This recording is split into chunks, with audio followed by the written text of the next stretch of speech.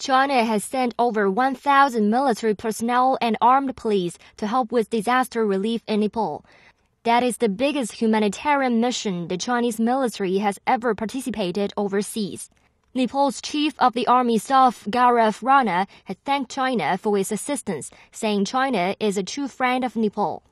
Very grateful to the People's Republic of China and mainly to the PLA, People's Liberation Army, who've acted very, very promptly under the leadership of the ambassador and of course our senior colonel, the military attache. We've got all sorts of uh, disaster aid, starting from you know the rescue elements, the medical elements coming in then, and of course the drinking water, and now we also have some uh, fumigation.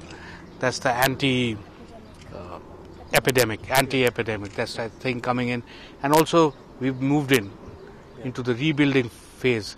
In that you know we've already the Chinese military, the PLA, have cleared uh, nearly 36 kilometers of road on our border over there. So I think it's been a tremendous res- response, and China is a really true friend of Nepal.